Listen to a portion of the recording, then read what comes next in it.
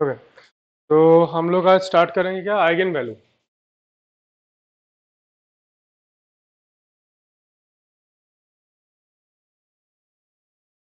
And eigen vector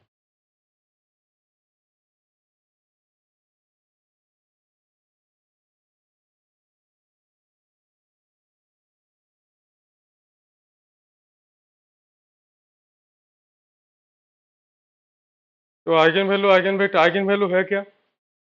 eigen value किसको बोलते हैं? Value of value of parameter. किस चीज़ का पैरामीटर?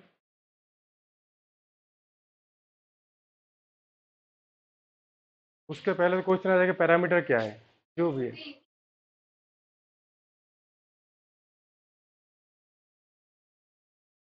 वो तो ठीक है मतलब वो एक एप्लीकेशन हो गया इंटीग्रल इक्वेशन में भी। पर एक्चुअली आइगन वैल्यू मतलब हाँ मतलब कैरेक्टरिस्टिक इक्वेशन को जो सेटिस्फाई करे, उसको हम बोलते हैं आइगन वैल्यू सिंपल है ये देखते हैं हम लोग। मतलब अगर ऐसे समझने जाए कि आइगन वैल्यू एक्चुअली है क्या कैरेक्टरिस्टिक इक्वेशन को कैसे सेटिस्फाई कर रहे हैं तो उसमें सिंपल मान के चलो, मैंने एक वेक्टर एक मैट्रिक्स मान के चला, जो मैंने मान के ले लिया थ्री वन ज़ीरो टू ये एक मैट्रिक्स मैंने लिया टू क्रॉस टू मैट्रिक्स है। ऑलवेज हमेशा eigen value, eigen vector find होगा स्क्वायर मैट्रिक्स के लिए। तो ये टू क्रॉस टू मैट्रिक्स है। अब अगर मैंने बोला कि ये एक मेरा एक्स वाई प्लेन है, और मेरा एक स्टैंडर्ड में वेक्टर ले रहा हूँ। सपोज़ एक कोई भी वेक्टर जैसे स्टैंडर्ड वेक्टर्स क्या होता है इसके लिए? Suppose u one u one होता है ना? वन ज़ीरो यहाँ पे है मान के चलो वन ज़ीरो तो ये मेरा यू वन अगर मेरा वन ज़ीरो है, अगर इसको मैं इससे मल्टीप्लाई करता हूँ ए इंटू ई वन तो क्या होगा? ए ई वन ये क्या हो जाएगा? ये भी एक वेक्टर ही बनेगा। बनेगा ना? तो ए वन क्या होगा? ए ए वन का वैल्यू मतलब ये टू क्रॉस टू है तो ये इसका ट्रांसपोज मान के चलो वेक्टर फॉर्म में ले रहा हूँ। ठीक तो ए वन क्या होगा? थ्री वन मतलब ये सिंपल ये पोजीशन है ना? ए वन क्या हो गया? थ्री वन तो ए वन कहाँ पे जाएगा? मान के चलो ये वन है, ये टू है, ये थ्री है तो ए वन मेरा जा रहा है इस पोजीशन पे सपोज़ तो ये मेरा हो गया ए वन एक वेक्टर हुआ सिंपल जस्ट एक मैट्रिक्स था, उसको मल्टीप्लाई किया ए थ्री वन मुझे मिला ए वन पे जा रहा है. सिमिलर वे में मैं ए ई टू ले रहा हूँ. तो ए ई टू क्या होगा? ए ई टू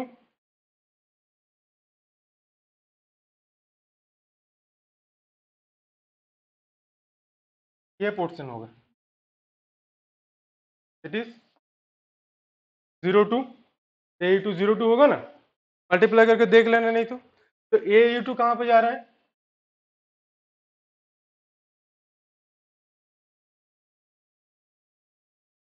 यहाँ पे। क्योंकि ई टू मेरा ज़ीरो ई टू क्या था? ई टू मेरा ये था ज़ीरो वन तो उसी लाइन पे है। तो यहाँ से एक चीज़ हमें नोटिस कर सकते हो तुम लोग कि ई वन एक वेक्टर से ले रहा था सेम मैट्रिक्स था मेरा मल्टीप्लाई किया तो मुझे जो दूसरा वेक्टर मिला, वो क्या मिला? अलग एक लाइन पे मिला, उसको एक थीटा एंगल करके उसको मुझे मिला। तो कोई भी एक एंगल करके उसको मिला सेम लाइन पर ई टू को अगर मैं मल्टीप्लाई कर रहा हूँ तो मुझे सेम लाइन पे उसको मिल रहा है। मतलब ये एक ऐसा ऑपरेटर है जो कुछ वेक्टर को क्या कर रहे हैं? ओनली स्ट्रेच करने में मदद कर रहे हैं। उसी लाइन पे या स्ट्रेच हो रहा है वेक्टर और दूसरा कुछ सभी वेक्टर के लिए ट्रू नहीं है। सपोज़ ये और कोई वेक्टर्स के लिए होगा कि नहीं, ये भी हमें नहीं पता। कि सपोज़ मैं मान के चलो ए वन वन एक वेक्टर ले रहा हूँ। सपोज़ ए वन वन एक वेक्टर में ले रहा हूँ। तो ये मेरा वन वन वेक्टर है। सपोज़ क्या यहाँ पे जो भी मान के चलो ए वन वन एक वेक्टर है। इसको मल्टीप्लाई करो। ए वन वन से ए इंटू वन वन, क्या होगा? थ्री कमा थ्री तो ये actually three into one one. ठीक? तो ये भी क्या कर रहे हैं? वन वन वेक्टर को भी स्ट्रेच करने में मदद कर रहे हैं। यहाँ पे भी इसको भी मुझे क्या कर रहे हैं? थ्री थ्री पे ले जा रहे हैं। ठीक? तो ये ऐसा एक मैट्रिक्स है जो कुछ वेक्टर्स को स्ट्रेचिंग में मदद कर रहे हैं, कुछ वेक्टर्स के लिए नहीं कर रहे हैं। ठीक? यहाँ से आइगन वैल्यू का एक्चुअली कॉन्सेप्ट आया है कि ए एक्स अगर ऐसा इक्वेशन को सेटिस्फाई करे A x equal to lambda x ये ऐसा एक ऑपरेटर जो एक्स कोई भी वेक्टर है मेरा, यहाँ पे वेक्टर साइन दे सकते हो, ये लैमडा इज़ द स्केलर तो कोई वेक्टर का अगर सेम वेक्टर के उसको ओनली स्ट्रेचिंग पे ले जाए मे बी ये स्टेज टू से मल्टीप्लाई हो या हाफ़ से मल्टीप्लाई हो, वो मायने नहीं रख रहे। तो लैमडा कोई भी स्केलर हो, अगर उसमें स्ट्रेचिंग पे ऐसे मदद करते हैं तो ये लैमडा को हम बोलते हैं आइगन वैल्यू और ये जो एक्स मेरा है, जिस वेक्टर को वो ऑपरेट कर रहे हैं, उसको हम बोलते हैं आइगन वेक्टर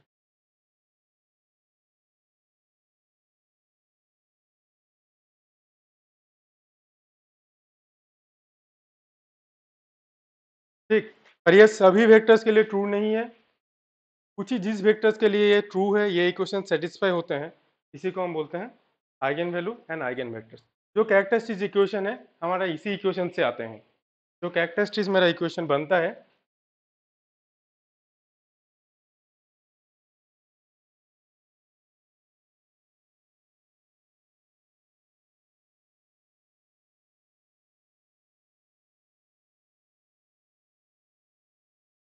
इसको एक साइड में हम ले आ सकता हूँ।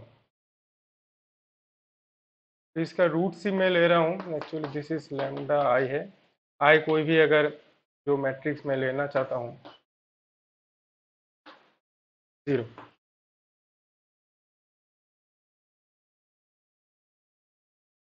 ठीक तो हमारा कैरेक्टरिस्टिक इक्वेशन क्या होता है?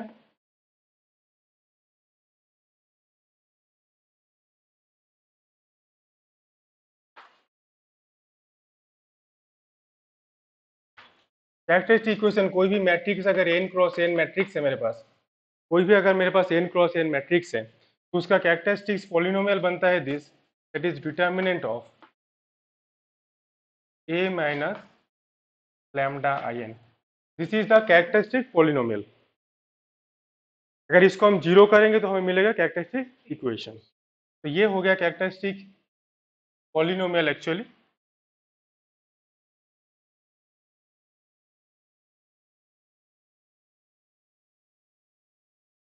polynomial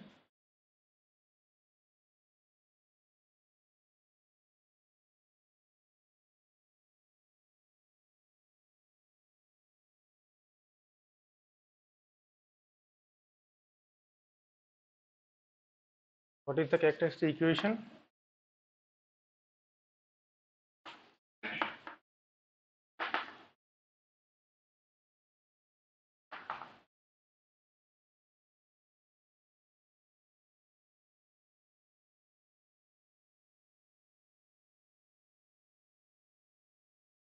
this is the characteristic equation and the root of the characteristic equation is the eigen value find करने का जो जनरल तरीका है तो ये मेरा हो जाता है रूट्स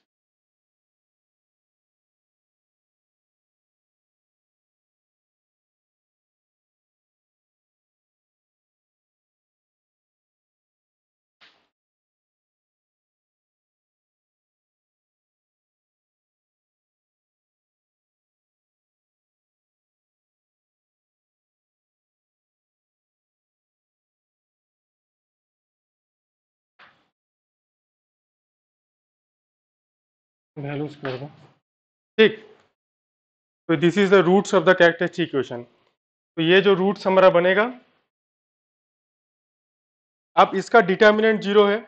इसका डिटर्मिनेंट अगर ज़ीरो है तो ये जो इक्वेशन मेरा देगा A minus lambda n x equals to zero अब जब इसका डिटर्मिनेंट ज़ीरो होता है तो हमारा सिस्टम ऑफ़ इक्वेशन का ये है।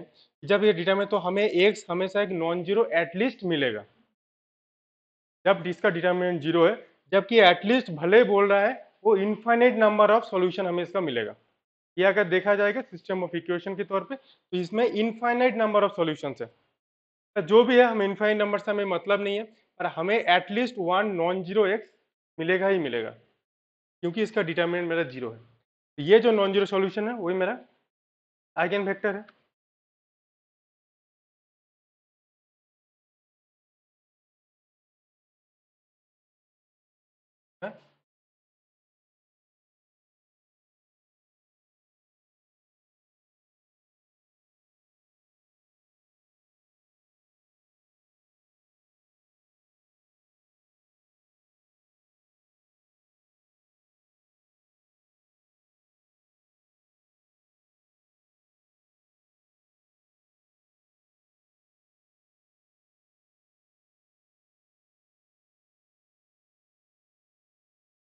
अब इक्वेशन ही कर दो। ठीक है, ये मैं लिख नहीं रहा हूँ नॉर्मली जस्ट यूज़ करने के लिए। ये सब ऐसे तो कोई ज़रूरत नहीं है, क्योंकि ये सब जो डेफिनेशंस वगैरह है, वो तो जानते ही हो। और कभी कभी ये क्वेश्चन पूछा जाता है, जो मैंने तुमको कोऑर्डिनेट्स में दिखाया, कि एक्चुअली आइगन वैल्यू का मीनिंग क्या है।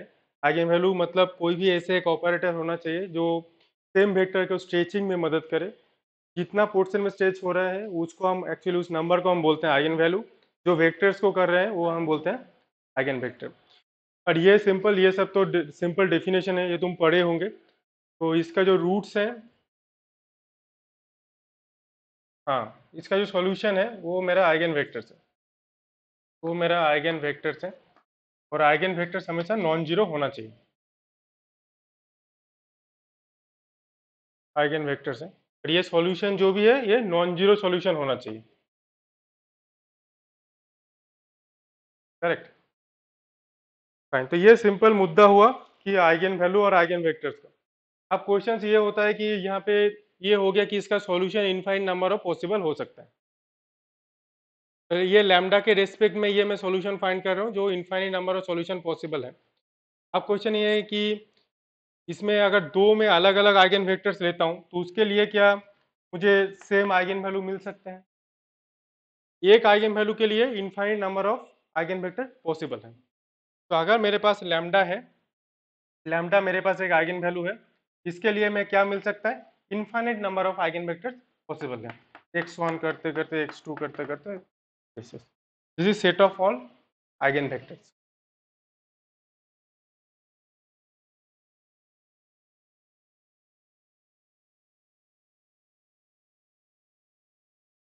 ये set of all eigen vectors है।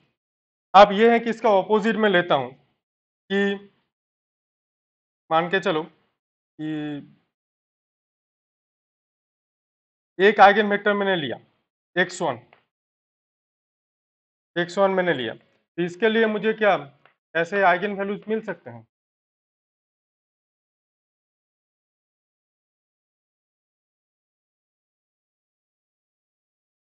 आइगन वैल्यू था क्योंकि ये मैंने देखा इसका डिटर्मिनेंट ज़ीरो है बाय सिस्टम ऑफ़ इक्वेशंस तो infinite number of solution possible है। एक सॉल्यूशन है तो इनफाइनिट नंबर ऑफ़ सॉल्यूशन है। अब क्वेश्चन ये है कि अगर मेरे पास एक वेक्टर है तो उसके लिए मुझे क्या इन्फाइनिट नंबर ऑफ़ या कोई भी है more than one lambda one lambda two lambda three ऐसे मिल सकते हैं? आइगन वैल्यूज़ ऑपोजिट जैसे उसके ऑपोजिट में ले रहा हूँ।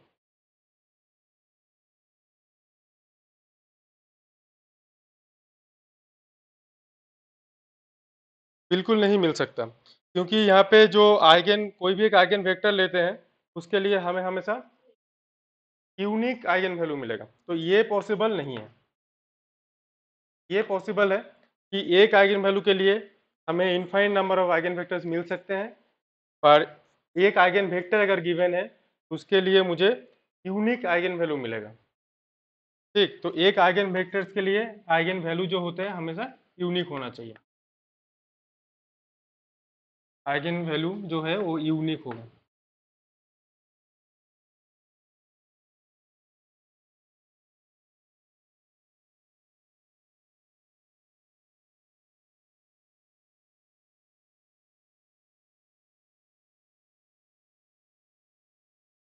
हम्म? वो तो अलग हो गया, वो तो set of number set of all eigen values of a matrix वो मल्टीप्लिसिटी हो सकता है। सेम भी हो सकता है। आइडेंटिटी का सारे आइगन वैल्यू सेम वो चीज़ अलग हो गया।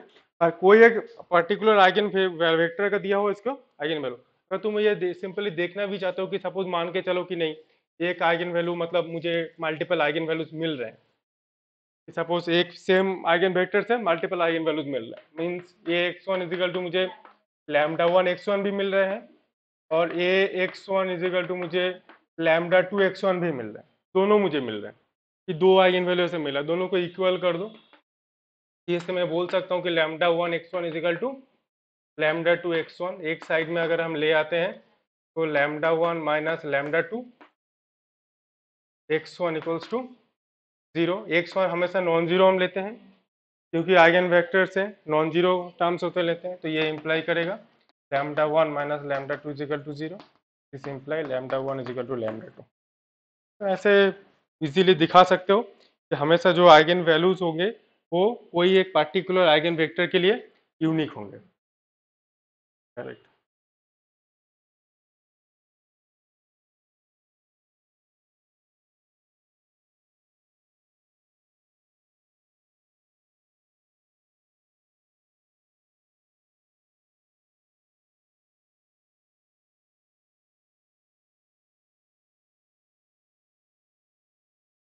ये जो कैरेक्टरिस्टिक इक्वेशन है, इसके लिए एक इम्पोर्टेंट थ्योरम है, जो कभी कभी ऐसे जो ऑप्शंस होते हैं, उसको ऑप्शंस के लिए कभी कभी काम पे आ जाते हैं, वो एक एले हेमिल्टन थ्योरम वो बोल रहे हैं कि ये जो कैरेक्टरिस्टिक इक्वेशन होते हैं कैरेक्टरिस्टिक इक्वेशन मान लो कि सपोज़ कोई लैमडा के फॉर्म में होगा, कोई भी एन क्रॉस एन मैट्रिक्स है तो lambda to the power n से होगा, या समथिंग कोई भी कोफिशियंट हो c one lambda to the power n minus one plus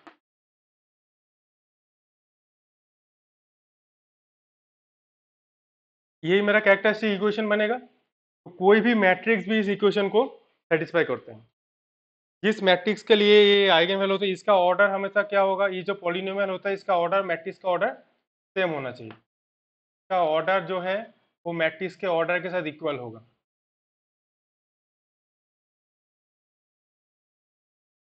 इसका ऑर्डर और मैट्रिक्स का ऑर्डर सेम है। और ये जो पॉलिनोमियल है, ये पॉलिनोमियल मैट्रिक्स खुद भी इस पॉलिनोमियल को सेटिस्फाई करते हैं। इसको हम बोलते हैं Cayley Hamilton theorem.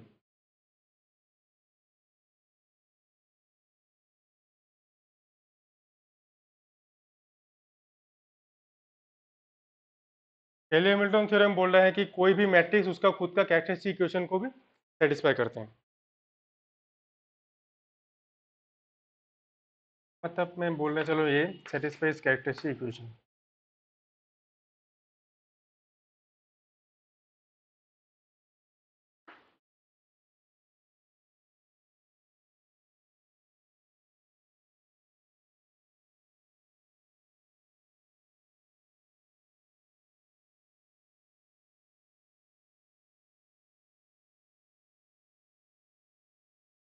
ठीक तो इसका अप्लाई क्या है? एक्चुअली ये सेटिस्फाई तो कर रहे हैं, चलो कोई दिक्कत नहीं है कि कोई भी, चलो ये कोई भी जो, कोई भी जो कैरेक्टरिस्टिक इक्वेशन है, ये सेटिस्फाई कर रहे हैं मैट्रिक्स खुद, इसमें कोई प्रॉब्लम नहीं है। तो इसमें इसका एप्लीकेशन क्या है? तो ये किस काम के लिए यूज़ हो सकते हैं? जो कैली हेमिल्टन थ्योरम है, ये नॉर्मली ऐसे थ्योरम के तौर में ही है, पर कभी कभी यूज़ होते हैं। यूज़ तब होगा जब मैट्रिक्स पोलिनोमियल वगैरह बनता है तब, या उसका हाँ इनवर्स वगैरह कोई टू दी पावर मान लो कि सपोज़ कभी कभी फॉर्म करने देते हैं कि एक क्वेश्चन उस दिन में करवाया था कि ए इनवर्स जो है, वो मैट्रिक्स का पॉलिनोमियल के तौर पे मैं लिख सकता हूँ कि नहीं? ये क्वेश्चन उस दिन था, जो सी एस नेट में भी आए हुए हैं और ये था कि फोर चार ऑप्शन था तो उसमें तो देखना पड़ेगा कि ए इनवर्स को मैं ऐसा क्वेश्चन पूछा गया था ना? हाँ कि उसका मैट्रिक्स का पॉलिनोमियल के तौर पे मैं लिख सकता हूँ कि नहीं? A to the power suppose n minus one and so one upon I n ऐसे में लिख सकता हूँ कि नहीं। तो ये कैरेक्टरिस्टिक जो केली हेमिल्टन थ्योरम है इससे ये चीज़ कर सकते हो। अगर तुमने कैरेक्टरिस्टिक इक्वेशन फाइंड कर लिया तो कैरेक्टरिस्टिक इक्वेशन से तुम डायरेक्ट उसको मैट्रिक्स को पुट कर दो। अब तुम उसमें ए इनवर्स फाइंड कर दो। अगर इन्वर्टेबल है तो। इन्वर्टेबल है तो तो इन्वर्स से मल्टीप्लाई कर दो। एक साइड में ए इन्वर्स आ जाएगा। उसको तुम ऐसे लिख सकते हो। हाँ अगर यहाँ पे डायरेक्ट तुम्हारा समथिंग ए टू दावर के आ गया तो तुम बोल सकते हो कि A inverse A to the power के के फॉर्म में भी लिख सकते हो। अगर यहाँ पे आइडेंटिटी भी आते हैं ऐसे तो तुम बोल सकते हो कि नहीं, अगर आइडेंटिटी एग्जिस्ट करते हैं तो ये कभी भी ए टू दावर के के फॉर्म में मैं नहीं लिख सकता। ठीक ना? तो आइडेंटिटी कभी भी मार्ज नहीं होगा ए के साथ। तो ये इस टाइप से क्वेश्चन में ये हेल्प होता है केले हेमिल्टन थ्योरम तो कैरेक्टरिस्टिक इक्वेशन फाइंड करके हम डायरेक्ट फाइंड कर देते हैं। या कभी कभी जैसे मान के चलो कोई भी ए मैट्रिक दिया ए टू दावर फिफ्टी पूछा गया। ये मैट्रिक्स दिया गया ए टू दावर फिफ्टी पूछा गया। तभी हम क्या करते हैं कि हम केले हेमिल्टन थ्योरम का यूज़ कर सकते हैं। जैसे मान के चलो कि तुम्हारा मैट्रिक्स का इक्वेशन इस टाइप से आ गया। A square minus A is equal to identity इस टाइप से कुछ आ गया। तो तुम उसमें ये कर सकते हो कि इसमें ए क्यू से मल्टीप्लाई किया, यहाँ से फिर ए स्क्वायर मल्टीप्लाई किया, यहाँ पे आया। तो इस टाइप से उसको फॉर्मुलेट करके बना सकते हो धीरे धीरे तो ए टू दी फिफ्टी को इस टाइप से फॉर्मूला लिखोगे तो हो सकता है कोई ऑप्शन करेक्ट हो या डायरेक्ट वैल्यू फाइंड हो जाए। तो ये सिंपल जस्ट एक्सप्रेशन के लिए ए इनवर्स और A to the power something form A to the power के ये सब यूज़ के लिए हमारा कैरेक्टरिस्टिकेशन और केले हेमिल्टन थ्योरम का यूज़ होते हैं। बाकी जो तुम्हारा eigen value, eigen vectors find करने के लिए, वो अगर बड़े मैट्रिक्स होंगे तो कैरेक्टरिस्टिक इक्वेशन से फाइंड करना या नॉर्मली फाइंड करने के लिए कम ही देते हैं। नॉर्मली फाइंड करने के लिए कम ही देते हैं। इसका जो प्रॉपर्टीज़ है, eigen values and eigen vectors का, वो हमारे लिए बहुत यूजफुल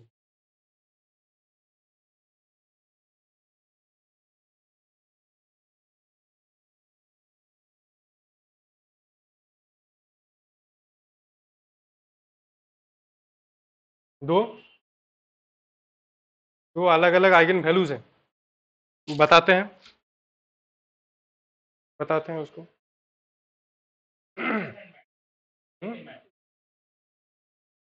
बताते हैं उसको।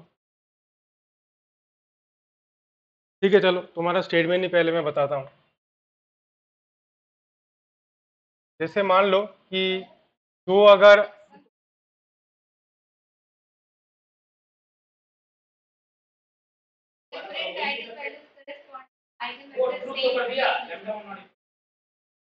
दो क्वेश्चन है। अब तुम इस क्वेश्चन को थोड़ा मॉडिफाई कर सकते हो।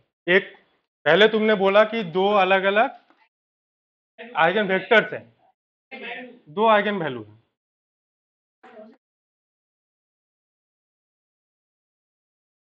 हाँ तो इसका तो मैंने बोला कि कोई भी एक एक से उसके लिए यूनिक मिलेगा तो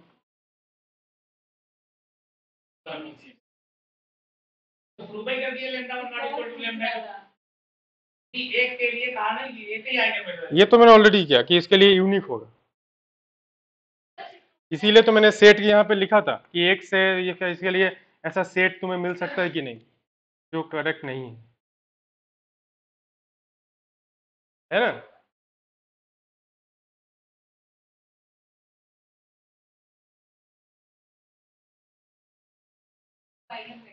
दूसरा कुछ है तो बताओ। हम्म? वो जो set of all eigen vectors होते हैं हाँ with the with also the eigen vector with the मतलब ज़ीरो वेक्टर वो एक वेक्टर स्पेस फॉर्म करते हैं। ठीक है। फाइनाइट नहीं हो सकता। है? फ़ील्ड फ़ील्ड हाँ फ़ील्ड अगर तुम ऐसे फाइनाइट फ़ील्ड है तो फाइनाइट होगा। फाइनाइट फ़ील्ड है तो अलग बात हो गया। नॉर्मली इन जनरल हम आर के ऊपर अगर कंसिडर करते हैं मैक्सिमम केसेस में आर और सी ऑलवेज इनफाइनाइट क्योंकि वो एक जनरेटिंग सेट है। एक्चुअली क्यों इनफाइनाइट होते हैं इनफाइनाइट इसीलिए होते हैं क्योंकि कोई भी आइगन स्पेस है मेरे पास मतलब जो आइगन वेक्टर्स बनाते हैं set of all eigen vectors वो सपोज़ मान लो कि कोई एक एलिमेंट से जनरेट होते हैं। इसमें जो कोई भी मैं कॉन्स्टेंट से मल्टीप्लाई कर सकता हूँ। अब सी क्या है? सी मेरा आर के ऊपर है फ़ील्ड के ऊपर है तो सी तो इन्फाइनाइट होगा। सी अगर इन्फाइनाइट है तो ये भी सेट भी इन्फाइनाइट है। सिंपल आर के ऊपर। नॉर्मली इन जनरल के अगर ये फाइनाइट है तो ये फाइनाइट हो जाएगा।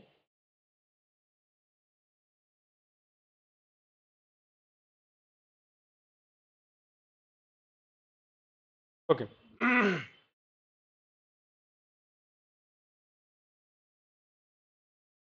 क्या क्या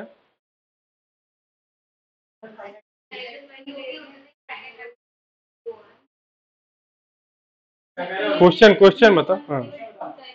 एक आइगन वैल्यू के करस्पॉन्डिंग आइगन फाइनाइट फाइनाइट निकलेंगे फाइनाइट फाइनाइट निकलेंगे एग्जैक्ट फाइनाइट में एग्जैक्ट उतने निकलेंगे मतलब नंबर ऑफ़ आइगन वेक्टर्स एक आइगन वैल्यू के रेस्पेक्ट में।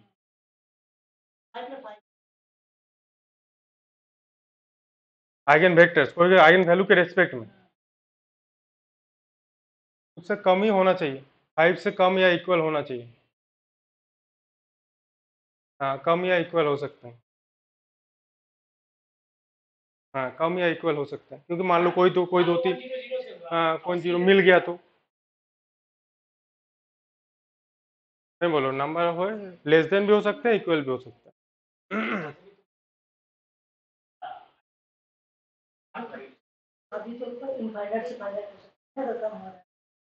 किसमें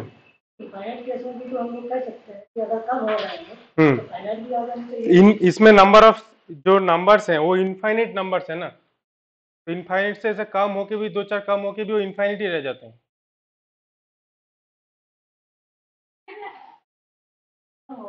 हाँ यहाँ पे कम होके फाइनाइट नहीं हो सकता। हाँ कम होके दो चार भले कम हो कि दोनों चार इक्वल होके ये हो रहा है तो कम होके कम ही इतना ही रह जाएगा इन्फाइनेट नंबर्स क्योंकि आर आर के ऊपर या कोई सी के ऊपर वैली करे जो इन्फाइनेट फ़ील्ड है, उसमें इन्फाइनेट नंबर ऑफ़ एलिमेंट्स है. इन्फाइन नंबर ऑफ़ एलिमेंट का कॉम्बिनेशन भी इन्फाइन नंबर बनेगा. वो फाइनाइट नहीं हो सकता. फाइनाइट हो तो कंट्रडिक्शन हो जाएगा.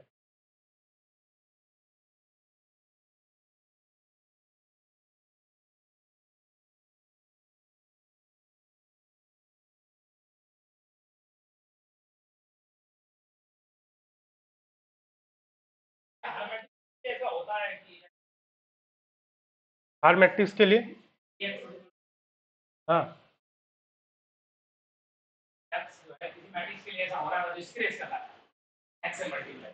हम्म।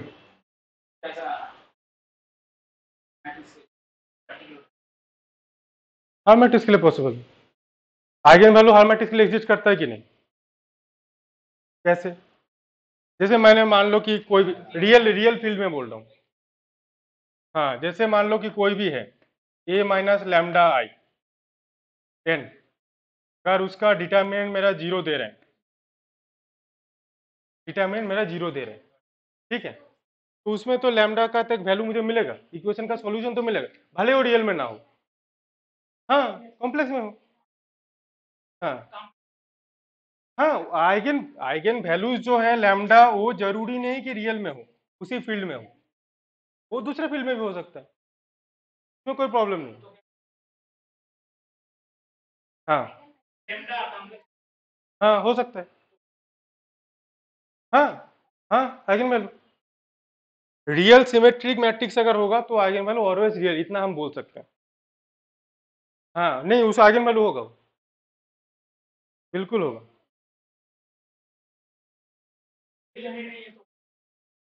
नहीं, ऐसा कुछ नहीं है।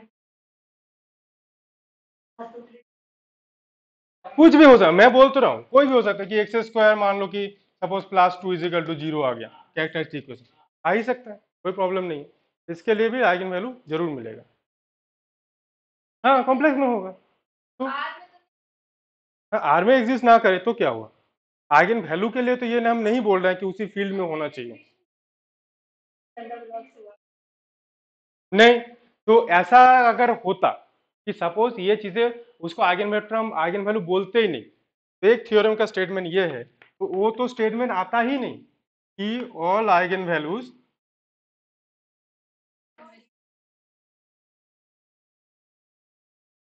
of a real symmetric matrix हाँ।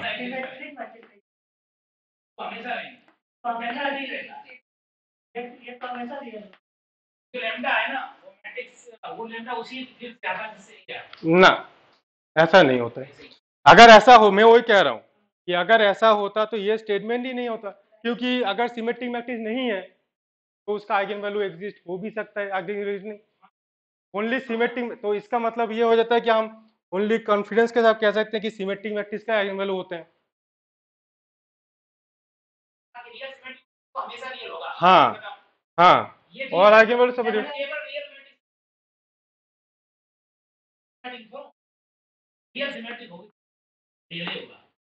ऑल मैट्रिक्स का आगे वैल्यू एग्जिस्ट करता है। वो रियल हो या कॉम्प्लेक्स हो। उसमें कोई हमें मतलब नहीं।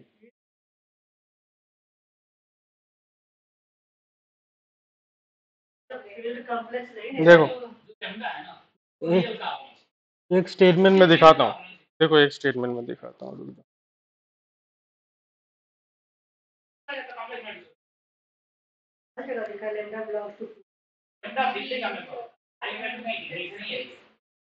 ऊपर इसमें भी लिखा देखो इसमें फ़ील्ड में लिखा भी होगा जो लैम्डा है वो फ़ील्ड का मेंबर होता है उसी फ़ील्ड का मेंबर होगा जिससे ए आया। तो लिखा है नहीं? नहीं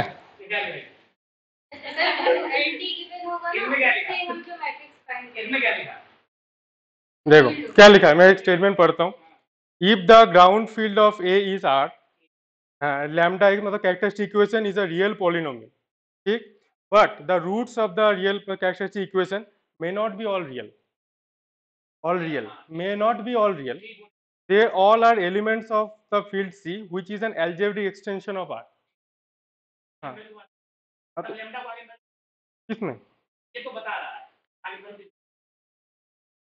आगे बढ़ के- the roots of the characteristic equation of a square matrix is to be eigenvalue बस इतना है the root of a characteristic equation of a square matrix A is said to be eigenvalue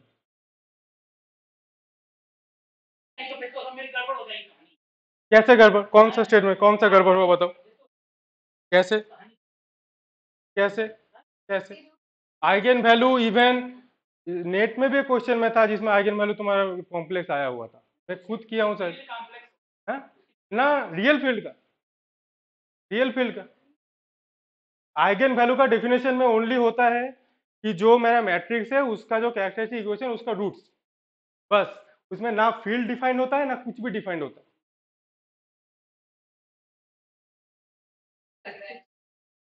किसमें क्या उसमें क्या गड़बड़ी क्या है? ये है हाँ।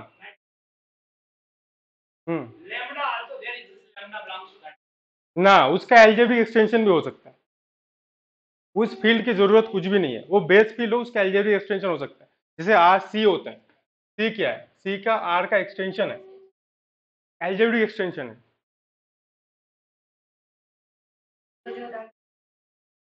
हाँ। ज़ीरो ज़ीरो वन हाँ। हाँ बिल्कुल। आइगन वेक्टर बताइए आई का। आई माइनस है ठीक ना? हाँ हो। किसमें?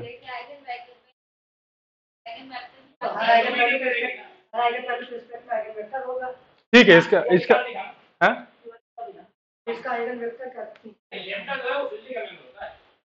उसी फ़ील्ड में चले जाएँगे तो फिर एक्सटेंशन नहीं पड़ेंगे मुझे तो नहीं पता। हैं?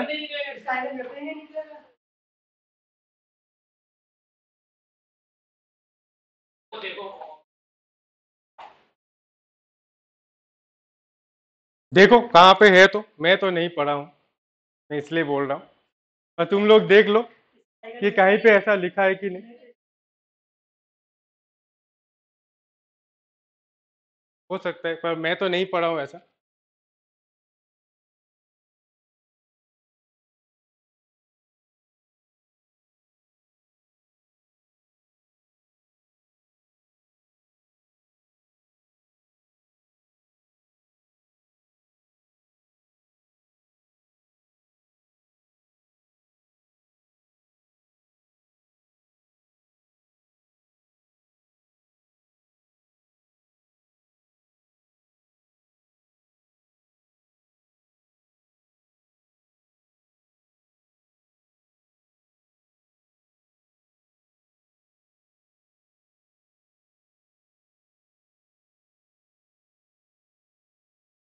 अच्छा इसका आगे वेक्टर पूछ रहे हो।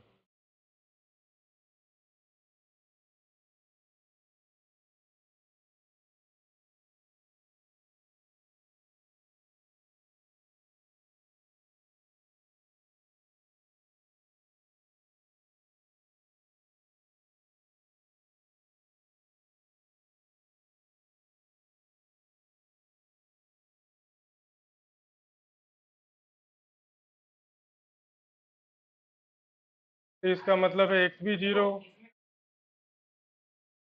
हाँ हाँ। है। ना। हमने ये नहीं कहा ये जो ये का फ़ील्ड का तो ये कह दिया कि उसकी आइगन वैल्यू है हम्म। वो उसके एक्सटेंशन फ़ील्ड में जा सकती है। हम्म। आर फोल्ड में जा सकती आर फोल्ड अलग चीज़ हो गया। वो आर फोल्ड लेंगे। एक्सटेंशन पे भी हम अगर बात करें तो हो सकती हम्म, है कौन सा?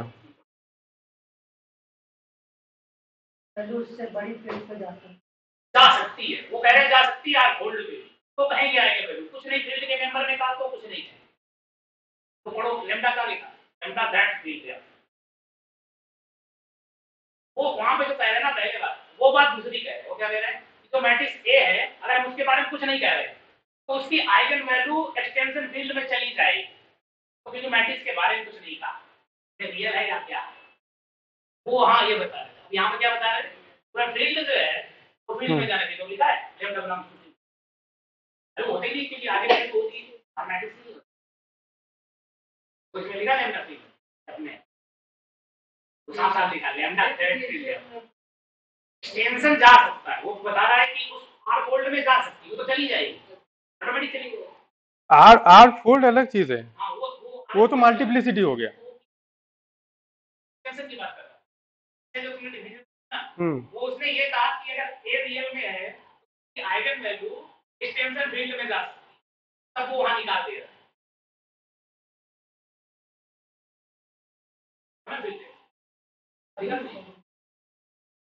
है। वो आइगन वेक्टर्स के लिए लिखा गया है।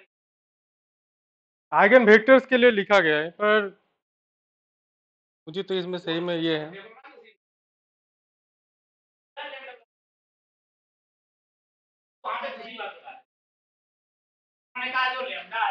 वो हम्म। फ़ील्ड में जा सकता है। तो वो वो आइगन वैल्यू नहीं है। आइगन वैल्यू आइगन वैल्यू है कि नहीं? क्वेश्चन ये है तो आइगन वैल्यू एग्जिस्ट करता है मतलब? हाँ कहीं पे भी करे। करता है कि नहीं? मेरा क्वेश्चन वो नहीं है। मैं तो मैं तो खुद भी बोल रहा हूँ कि सी में हो सकते हैं। तो आइगन वैल्यू है कि नहीं? ये का। है हाँ मैट्रिक्स का। मैं तो फ़ील्ड का बात ही नहीं कर रहा हूँ। मैं ऐसे नॉर्मली बोल रहा हूँ कि जैसे कोई भी एक मैट्रिक्स है हाँ? वो तो मुझे पता है, वो चीज़ मुझे पता है और उसको आइगन वैल्यू नहीं कहेंगे क्या ऐसा, मेरा क्वेश्चन यहाँ पे ही है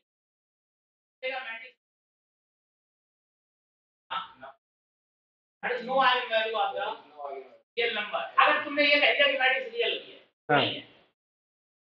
अच्छा रियल फील उठा रहे तो आइगन वैल्यू नहीं है, ऐसा। अगर जैसे तुम सिंपल क्वेश्चन लिख दिए कुछ नहीं कहो। सी के नंबर लिख सकते हम हमें 0 1 माइनस 1 0 माइनस 1 0 सी के नंबर लिख सकते इसका वो माइनस 1 जब कुछ नहीं कहा गया मैट्रिक्स के बारे में। इसकी field member field particular R कह दिया, और लैम्बडा निकल आया काम से। नहीं ना। तो सामने आ सकते सामने गेट पे क्लास को। अब ये पीछे निकल जाओ सामने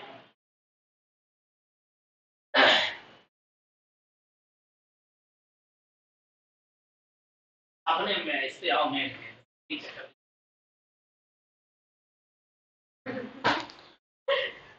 ओके okay, तो ये थोड़ा कंफ्यूजिंग है। मैं अभी भी इसमें श्योर नहीं हूँ ऐसा। क्योंकि मेरे अकॉर्डिंग आइगन वैल्यू किसी का भी एग्जिस्ट कर सकते हैं। क्योंकि हाँ। इसमें तो इसमें देखा मैंने इसमें देखा मैंने।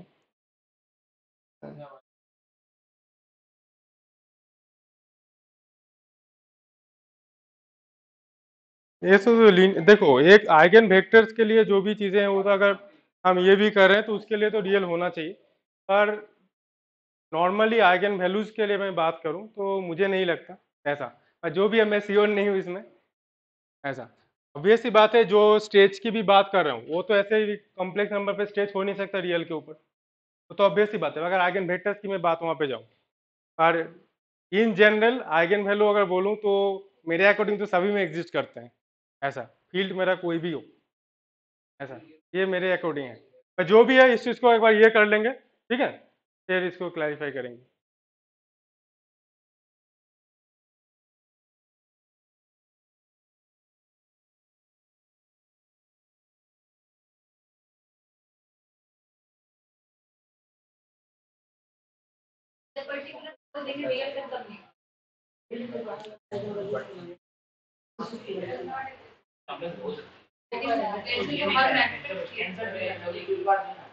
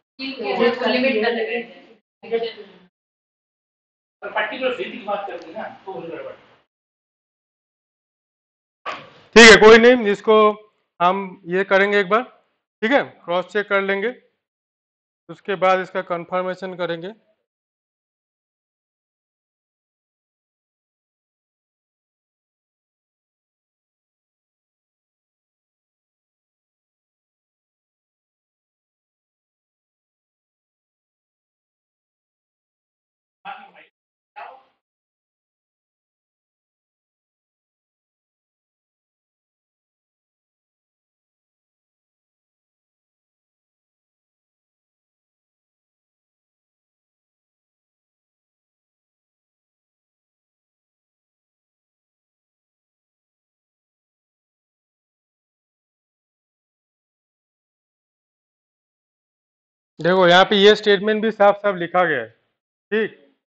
यहाँ पे लिखा है कि coefficient of the characteristic equation are elements of the field F but the eigen values of A may not be all elements of F eigen values बोल रहे हैं। आइगन वैल्यूज़ बोल रहे हैं। देख लो। है ये ना यहाँ पे क्या लिखा है? Although the coefficients of f but the eigenvalues of a may not be all elements of वो- एक्सटेंशन मैं नॉन नॉर्मली बोल रहा हूँ कि मेरे पास अगर कोई भी मैट्रिक्स हो मेरे पास मैट्रिक्स है उसका आइगन वैल्यू एग्जिस्ट करेगा कि नहीं? वो कोई भी फ़ील्ड से हो। सिंपल और मेरे अकॉर्डिंग जो है एग्जिस्ट तो होना ही चाहिए। अगर आइगन वेक्टर का जब कॉन्सेप्ट आएगा तब उसमें होगा हमारा जो है lambda belongs to there exist lambda belongs to ये कर ही देंगे हम। सेम फ़ील्ड उस केस में आइगन वेक्टर्स के केस में। In general eigen value exist कर रहे हैं कि नहीं? हाँ वेक्टर लेंगे तो वो एग्जिस्ट वो सेम फ़ील्ड में होना ही चाहिए। अदरवाइज़ उसमें एक्सटेंशन का ये नहीं मतलब नहीं बनता है। नहीं, इसको देखना पड़ेगा, देखो, ये चीज़ें हैं मतलब इसमें थोड़ा कंफ्यूजिंग है। हाँ। आइगन वैल्यू में भी कॉम्प्लेक्स ना? तो मैं, मेरे अकॉर्डिंग मैं बोल रहा हूँ कि? मैं वही चीज़ बोल रहा हूँ।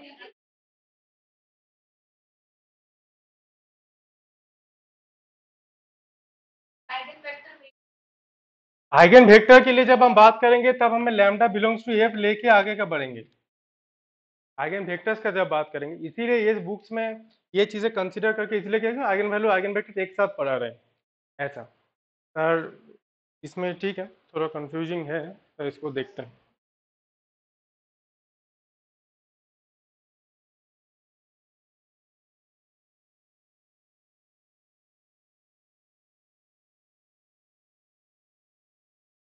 ठीक है? कुछ दो एक प्रॉपर्टीज़ है जो आइगन वैल्यूज़ के लिए मेनली है कि लैम्डा अगर आइगन वैल्यूज़ होते हैं, कोई भी मैट्रिक्स ए का, अगर लैम्डा आइगन वैल्यूज़ है कोई भी मैट्रिक्स ए का तो लैम्डा इनवर्स भी आइगन वैल्यू होगा ए इनवर्स का। अगर ए इनवर्स एग्जिस्ट कर रहे हैं तो ए इनवर्स एग्जिस्ट कर रहे हैं तो तो लैम्डा इनवर्स भी आइगन वैल्यू होगा ए इनवर्स का। अगर लैम्डा आइगन वैल्यू है तो ये भी होगा। इनवर्स एग्जिस्ट होता है तो। इन सिमिलर फ़ैशन अगर लैम्डा आइगन वैल्यू होता है ए का तो लैम्डा टू दी पावर के भी आइगन वैल्यू होगा ए टू दी पावर के का। ठीक है? तो ये कुछ कुछ प्रॉपर्टीज़ हमें काम पे आ जाते हैं कभी कभी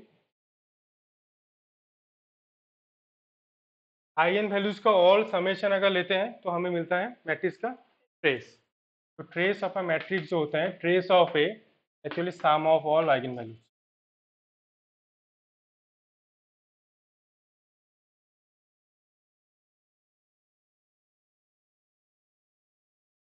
और डिटर्मिनेंट होता है प्रोडक्ट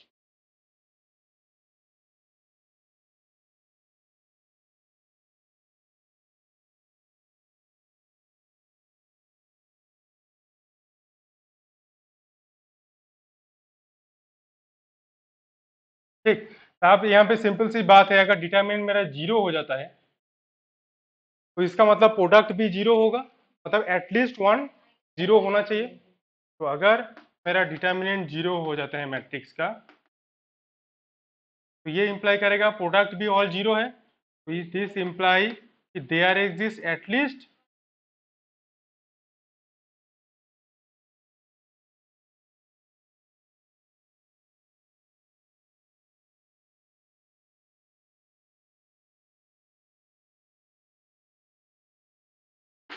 ये सिंपल प्रॉपर्टीज़ हैं, जो हमारे शॉर्ट शॉर्ट क्वेश्चन सॉल्व करने में काम आ जाते हैं कभी कभी ठीक है? और जो सिमिलर मैट्रिक्स होते हैं, उसका भी आइगन वैल्यूज़ सेम होते हैं। सिमिलर मैट्रिक्स मीन्स ये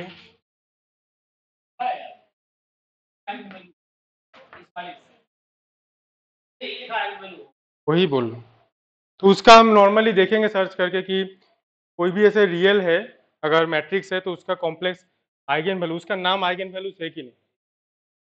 सबसे बड़ी बात यही है है ना?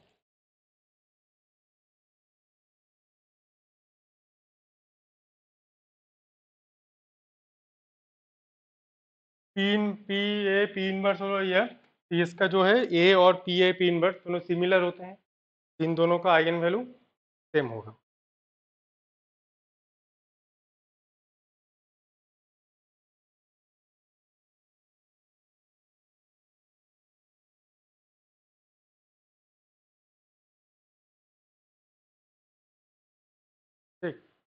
ये कुछ कुछ प्रॉपर्टीज़ हैं, जो हमारा काम पे आएगा।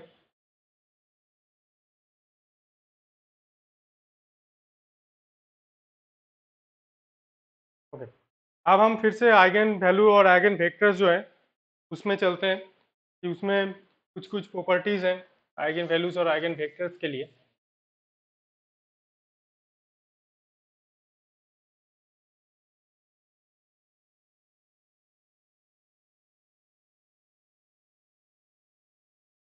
देखो, अगर हमारे पास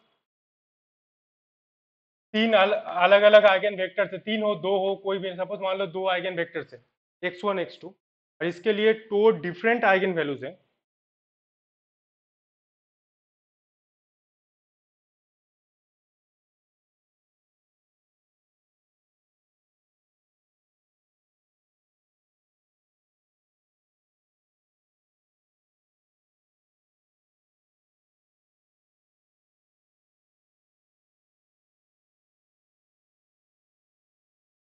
अगर दो डिफरेंट आइगन वैल्यूज़ हैं मतलब डिस्टिंक्ट तो एक्स वन और x two are linearly independent तो दोनों लीनियरली इंडिपेंडेंट होंगे। कभी भी सेम सेट में बिलोंग कर सकते हैं। नहीं मतलब दो डिफरेंट के लिए सेम सेट में कभी बिलोंग नहीं करेगा।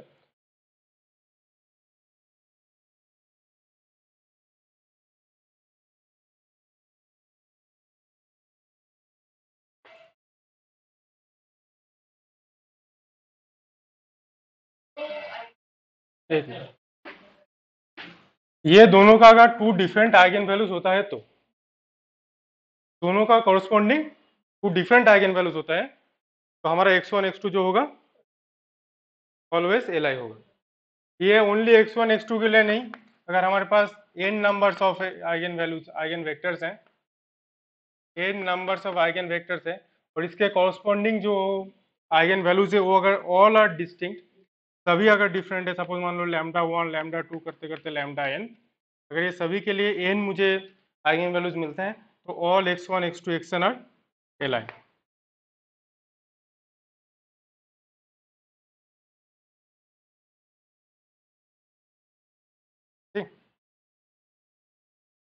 ये बहुत ही काम का चीज़ें हैं, क्योंकि अगर हम डायगोनलाइजेबल पढ़ेंगे अभी तो डायगोनलाइजेबल में ये बहुत इंपॉर्टेंट होते हैं। कि अगर सारे मुझे एल आई मिलते हैं, सारे आइगन वेक्टर्स अगर हमें एल आई मिलते हैं तो मैट्रिक्स हमेशा डायगोनलाइजेबल होगा। ये बहुत काम की चीज़ें हैं और ये इफ़ एंड ओनली इफ़ है। तो ये बहुत ही इंपॉर्टेंट है इसलिए। अगर हमारे सारे इसमें डिस्टिंग मिल जाएगा तो सारे मेरा जो हाँ हो जाएगा डिस्टिंक्ट मतलब एल हो जाएगा तो वो मेरा डायगोनलाइजेबल हो जाएगा। और उस केस में वो इफ़ एंड ओनली कंडीशन नहीं है। ये if and only if condition अगर ये डिस्टिंक्ट होगा तो डायगोनलाइजेबल होगा, ज़रूरी नहीं डायगोनलाइजेबल होगा मतलब डिस्टिंक्ट ही होगा।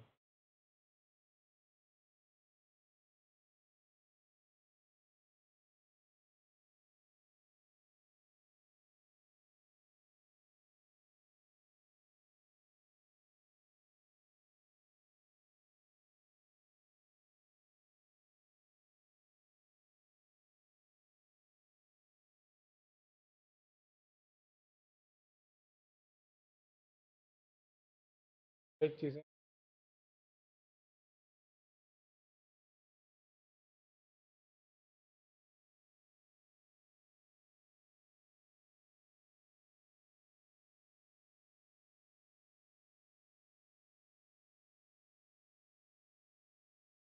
वो चीज़ तो मैंने बोल दिया कि अगर रियल सिमेट्रिक मैट्रिक्स होते हैं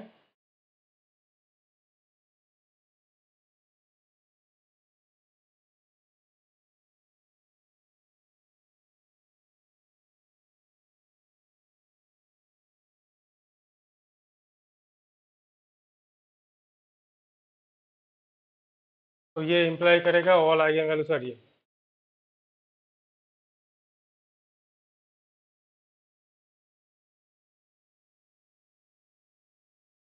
हाँ आप यहाँ पे और एक क्वेश्चन है। अगर रियल क्यू सिमेट्री होगा तो? हाँ। आप कॉम्प्लेक्स आया ना?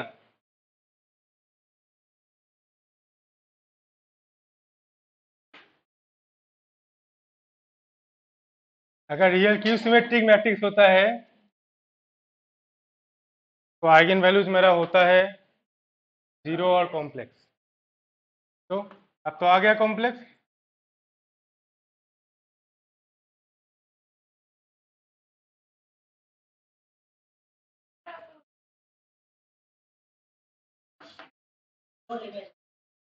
हाँ मतलब वही pure imaginary in the sense कि कॉम्प्लेक्स में बोल रहा हूँ प्योर इमेजिनरी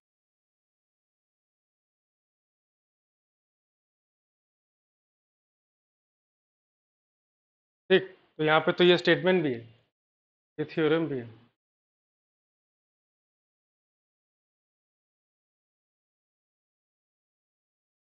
बिल्कुल आइगन वैल्यू कुछ भी हो सकता है।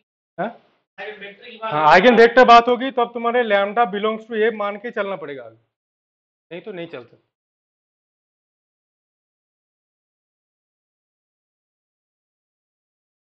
कोई मैट्रिक्स डायगोनल नहीं है तो? हाँ क्यों नहीं करेगा?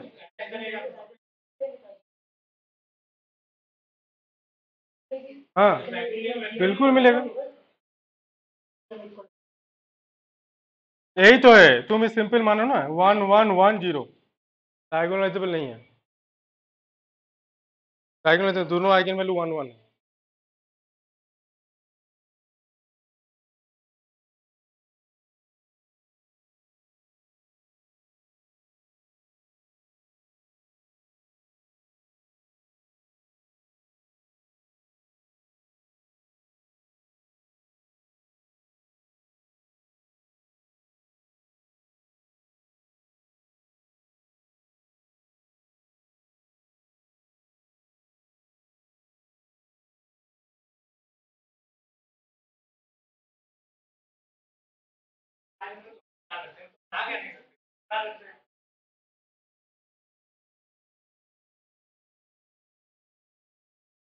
ठीक है, इसका तो ये है, तुम्हारा डायगोनलाइजेबल स्टार्ट करते हैं। क्या कुछ क्वेश्चंस करते हैं पहले? डायगोनलाइजेबल का डेफिनेशंस पहले बता देता हूँ मैं। अगर कुछ छूटा तो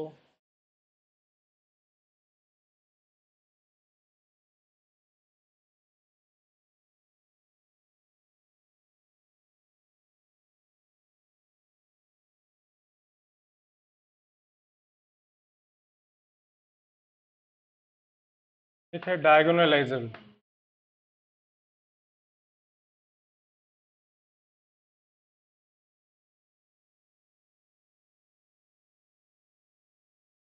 तो ये मैट्रिक्स को डायगोनलाइजेबल कब कहते हैं? एक मैट्रिक्स कोई भी मैट्रिक्स है, मान लो स्क्वायर मैट्रिक्स है एन क्रॉस एन इसको डायगोनल कब कहते हैं? सिंप्लेक्स फॉर्म सिंपलेस्ट फॉर्म मतलब क्या? कैसा सिंपलेस्ट फॉर्म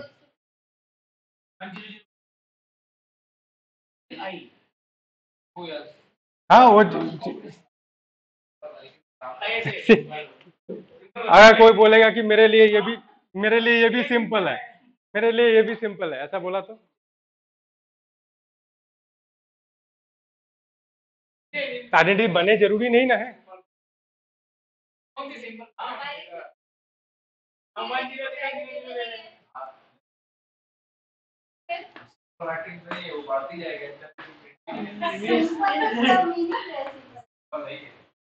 ऊपर का मीनिंग है। ज़ीरो ज़ीरो नहीं जवाब दिया करो यार तभी गड़बड़ हो जाता है। अरे तो ये सिंपल फॉर्म तो फॉर्म बताओ कौन सी सिंपल हाँ। है ना? आई।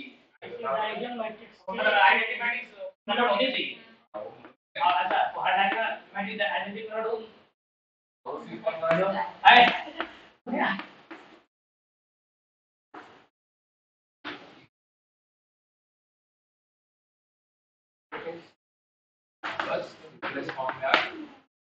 कोई भी डायगोनल मैट्रिक्स के साथ सिमिलर होना चाहिए। डायगोनल मैट्रिक्स का सिमिलर मीन्स ऐसा हमें मिलना चाहिए कि P A P inverse P A P inverse कोई भी ऐसे डी होना चाहिए। डी जो डायगोनल मैट्रिक्स हो। ठीक? और डी का जो डायगोनल एंट्रीज होगा, वो एक्चुअली आइगन वैल्यूज़ है। डी जो डायगोनल क्योंकि सिमिलर मैट्रिक्स का हमने अभी भी किया, कि सिमिलर मैट्रिक्स का आइगन वैल्यूज़ भी सेम होते हैं। हम्म। बिल्कुल। पी की जगह क्यू कर दो पी इनवर्स जब इन्वर्टेबल मैट्रिक्स है कुछ भी हम लिख सकते हैं। कोई भी सिमिलर मैट्रिक्स होता है, अगर तुम सिमिलर मैट्रिक्स को ऐसे लिख रहे हो कि हाँ सपोज़ इसको मान लो बी लिख के चलो। पी ए पी इनवर्स ऐसे लिखते हो? तो ए बी और ए सिमिलर ऑपोजिट भी ट्रू है। कि ऑपोजिट में ये भी बोल सकता हूँ ना कि सपोज़ कोई भी ऐसे क्यू हो जाएगा पी इनवर्स ले लो उसको। Q equal to P inverse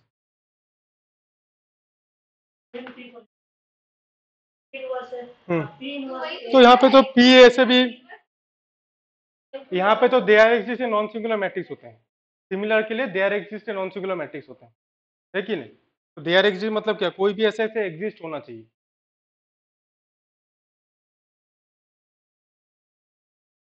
P A P inverse P inverse A P equal होगा कि नहीं होगा? हाँ इक्वल नहीं भी हो सकता है। हाँ।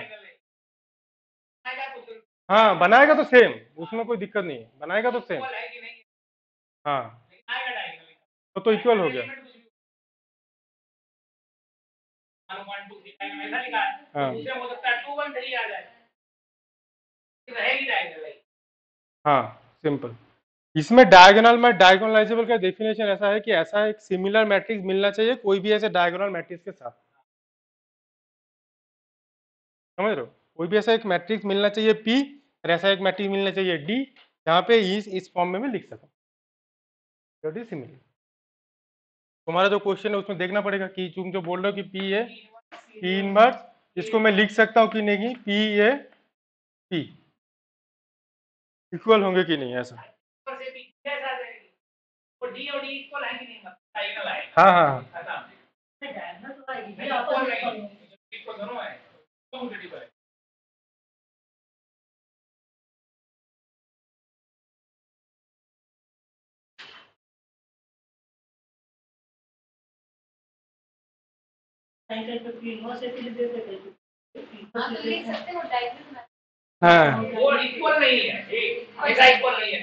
वहाँ पे ये पी का फॉर्म चेंज हो जाता है। सेम पी नहीं होता है। जहाँ पे वो पी इनवर्स भी लिख देगा और ये ये पी और ये पी सेम नहीं है। ये दूसरा मैट्रिक्स बन गया। इनवर्स बन गया उसका।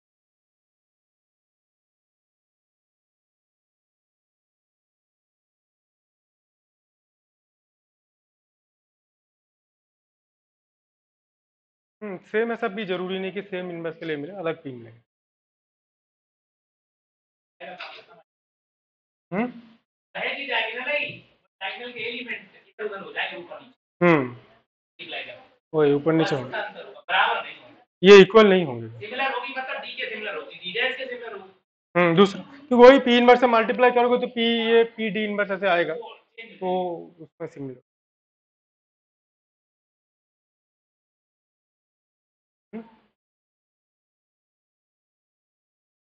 तो ये डायगोनल ये हो जाएगा डी का एलिमेंट ही एक्चुअली मेरा है आइगन वैल्यू डी के सारे डायगोनल एलिमेंट्स ही मेरा है आइगन वैल्यू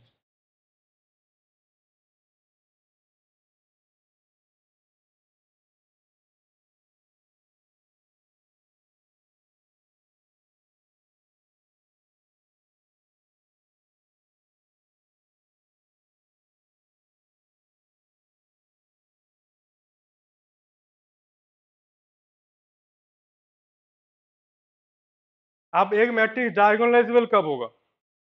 क्वेश्चन ये इंपॉर्टेंस होता है कि एक मैट्रिक्स डायगोनलाइजेबल कब होगा? डायगोनलाइज डायगोनलाइजेबल का काफ़ी कंडीशंस है मतलब है?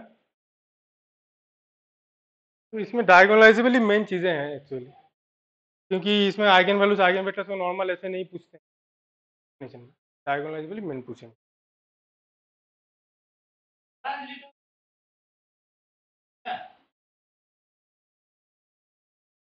कोई दिक्कत नहीं फिर से रिपीट कर देंगे दिक्कत होगा तो उसमें क्या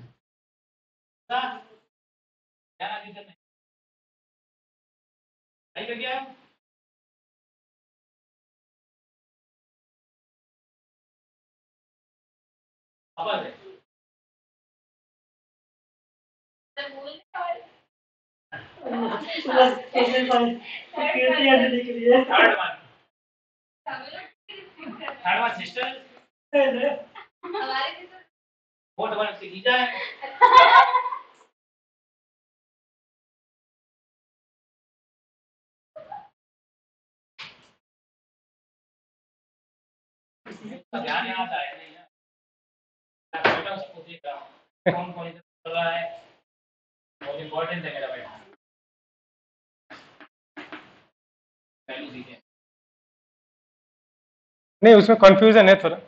वो तो ये होगा।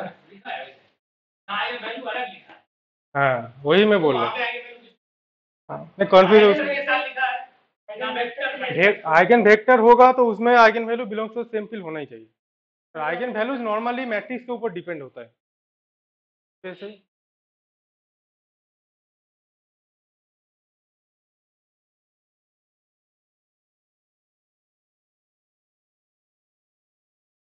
आगे वैल्यू से डिफाइन की है ना डिफाइन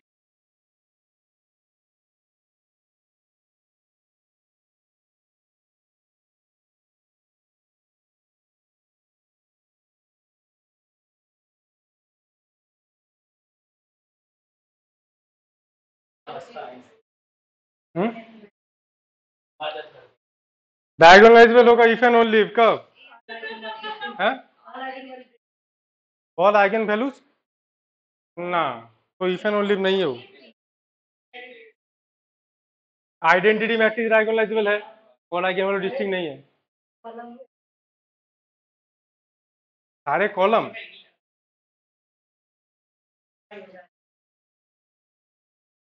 आइगन वैल्यूज़ के रिलेटेड जितने भी आइगन वेक्टर्स है, वो सब एलाई हो। इफ़ एंड ओनली कंडीशन तब होता है जब all the eigenvectors are L I जो आइगन वैल्यू से रिलेटेड हर एक आइगन वैल्यू से रिलेटेड हमें एक ऐसा मतलब एन अगर ऑर्डर है ए का ऑर्डर अगर एन है तो हमें एन ऐसे लिनियरली इंडिपेंडेंट आइगन वेक्टर मिलने चाहिए not eigen value eigen value के लिए इफ़ एंड ओनली कंडीशन नहीं है।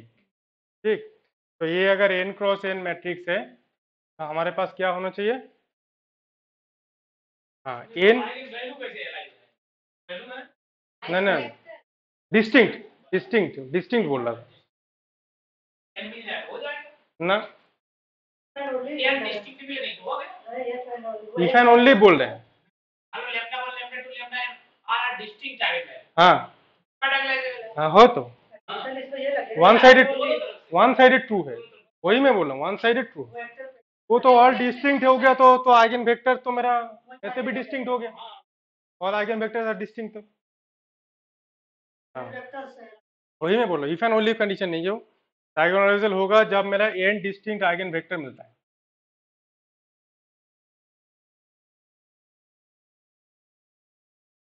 एन डिस्टिंक्ट नहीं।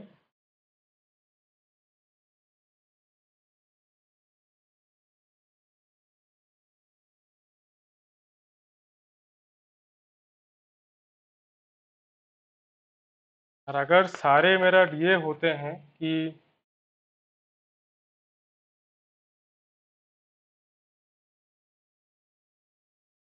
All eigen values are distinct अगर होते हैं तो ये इम्प्लाई कर देते हैं एक्चुअली कि ये सारे जो है एन एल आई मुझे आइगन वेक्टर से मिल जाएगा। ये इम्प्लाई कर देगा। N n L I eigenvectors और ये इम्प्लाई करेगा कि ए इज़ डायगोनल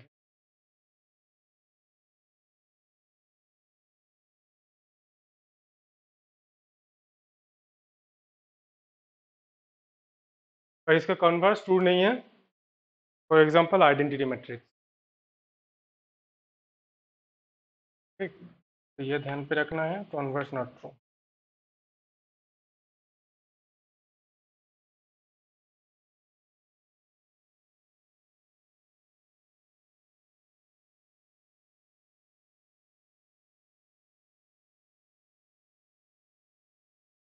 तो हमें एक्चुअली ये सब प्रॉपर्टीज़ ही चेक करना है। एग्ज़ाम में तो ना तुम्हें आइगन वैल्यू फाइंड करना है, ना आइगन वेक्टर फाइंड करना है, ना कुछ करना है। सिंपल जो प्रॉपर्टीज़ होते हैं, उसको हम वेरीफाई करेंगे बस। कि जो जो प्रॉपर्टी जो जो थियोरम्स हैं स्टेटमेंट्स हैं, उसको कैसे यूज़ किया जाए। उसको तो यूज़ करके हमें आंसर फाइंड करना होगा। क्योंकि उसका आइगन वैल्यू आइगन वेक्टर ऐसे फाइंड आर्बिटरी मैट्रिक्स भी देते हैं। उसमें फाइंड करना पॉसिबल भी नहीं होता। नॉर्मली कर लोगे तो और अच्छी बात है, अगर पॉसिबल है तो।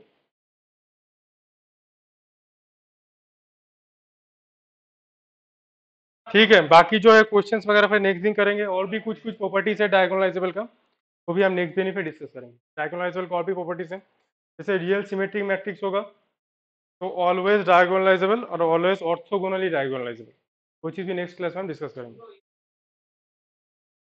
क्या करूँ? फिर तो दिखे ना बातें करें ना खाली बात भाई पहले आते आते शुरू किए पुराने वाले एकदम नहीं। सुनो सब क्या कह रहे हैं वो इम्पोर्टेंट है जो कह रहे हैं। सुनते हो नहीं? हाथ तो पूरा भर गया है। है? मंगाया तो है। मिल। किसने वही तो बोला मंगाया तो मैं हूँ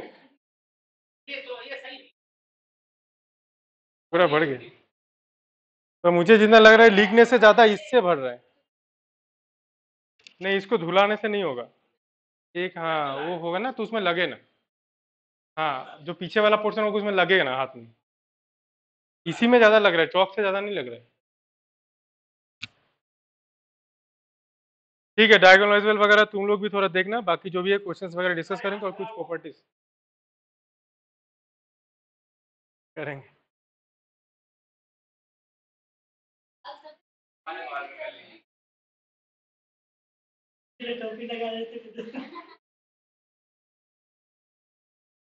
ऑनलाइन वाला पूछ लिया करो